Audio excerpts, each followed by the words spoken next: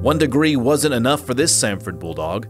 John Floyd wound up with three of them a Bachelor of Science in Public Administration, a law degree from Cumberland School of Law, and a Master of Science in Environmental Management.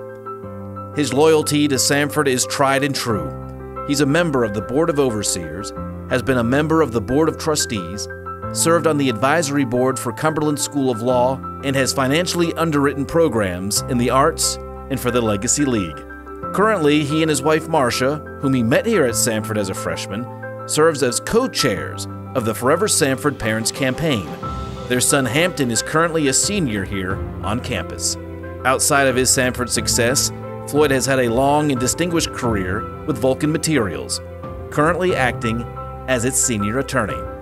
John Floyd, 2019's Alumnus of the Year.